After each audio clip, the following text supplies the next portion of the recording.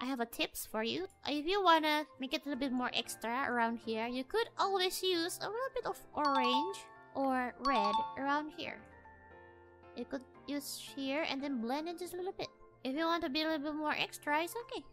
If you don't want to, it's okay. Ah, see?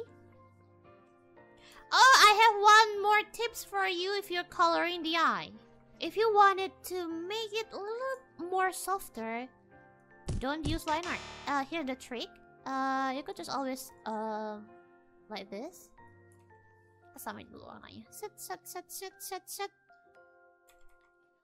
Yeah, if you want to make it more softer, don't use line art. Just kind of blur it a little bit.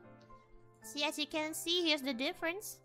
It's more softer the left one. This is the one without line art, and then this one is with the line art. It's up to you which one you want to use, okay?